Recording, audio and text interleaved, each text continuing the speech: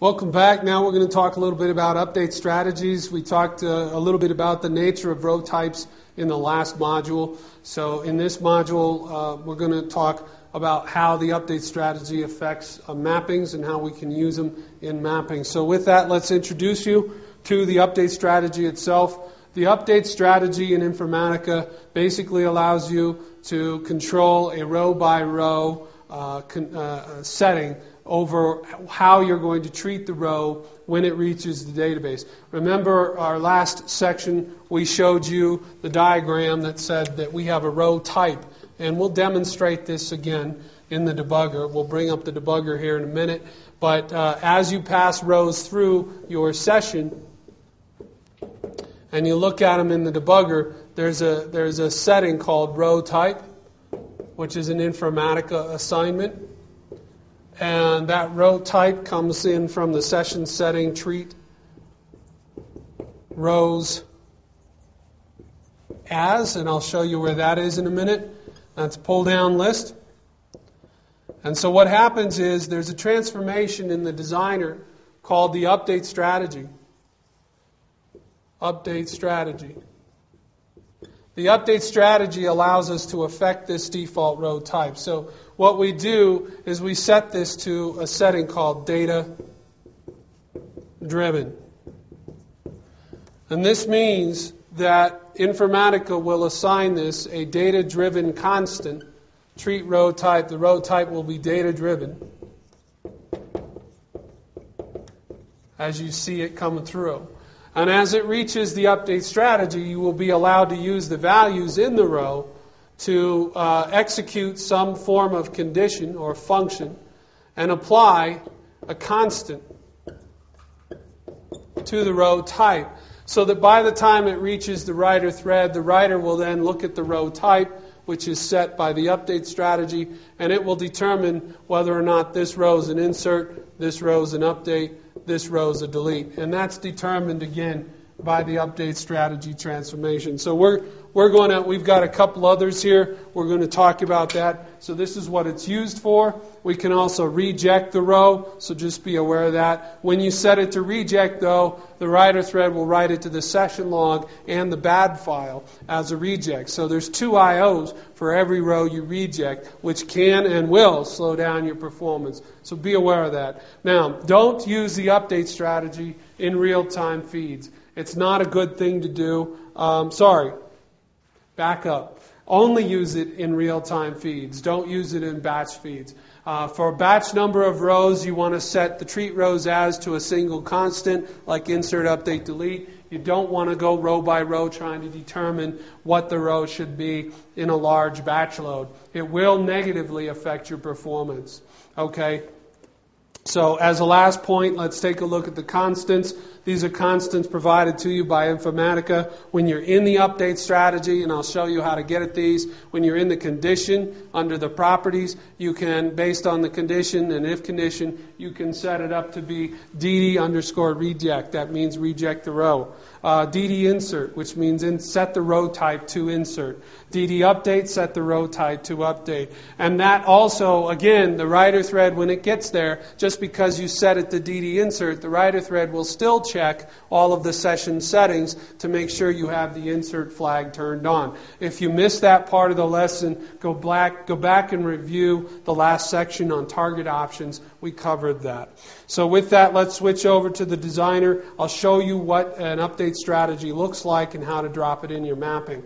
Update strategies basically are here. They're the second transformation in the bar there. We'll turn that on. We'll click once and we'll bring in some of these fields. So I'm going to highlight those guys, drop them out from the sorter. Let's bring it on down the tracks into the update strategy. Let's expand that out.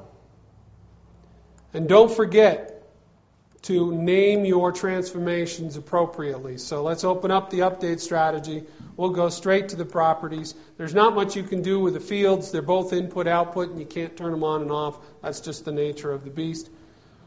excuse me, here you see the update strategy expression. Let's open that up. Zero is the default. That's DD insert. And you can see here what we're going to do is write an if condition. We're going to pull out a port and we're going to say um, if the product category, let's say let's let's do this substring product category. First letter of the product category equals A. Then we want to use a DD insert. Else, we want to say if the unit sales is greater than 1,000, then we want to issue a DD update. Otherwise, mark the entire row as a DD reject. Okay, and I think we've got a valid condition there. All right, so what this does now, this allows us to say if the product category starts with an A, right, then insert, set the row to an insert type. If you otherwise, all the other conditions starts with a B, C, D, E, F. Then check the next condition. The next condition says if unit sales greater than 1,000, then update it. Otherwise, mark it for reject. You can also set it to delete. Um, and that is the equivalent of an update expression. Keep in mind that this gets executed again every single row that passes through the update strategy.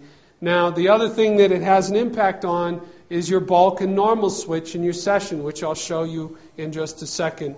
Um, so this is this expression. You can choose to forward rejected rows, or you can make the update strategy act like a filter and drop the row from the stream. So if you forward them, they go all the way to the writer before they hit the session log. If you do not forward them, they're filtered out. Um, you don't see them again, and they do not hit the session log or the bad file. So just be aware of that. Let's go take a look now. Let me hook these up uh, downstream to the target so our mapping is valid.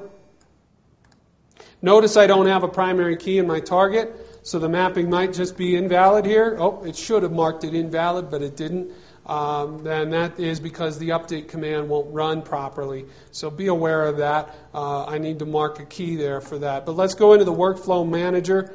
Let's refresh the mapping. Now don't forget that the two clients that I'm working with here, I just showed you, they don't talk to each other. So any major change, I drop a new transformation in my map, I delete a transformation in my map, I hook up different fields in my map, I change an expression. Any change in my mapping saved to the repository. Tell the workflow manager if you have it open, like I just switched to it, I've got to go out tell the workflow manager to pull that new metadata back into the session. They don't talk to each other, unfortunately. There's no live update. So refresh mapping allows me to pull that new metadata back in, and now I should be able to see the update strategy. And as you can actually see down here, it says it has reverted the object and it added update transformation to my session. So if I go to mapping and I look at transformations, I should see my update trans. If you don't see the new transformation that you added in this list, you haven't refreshed your session properly. That's not a good thing. Now, don't forget here, we're going to talk about the session settings or the target settings again here for bulk and normal. Uh, remember that the update strategy affects performance in a negative way.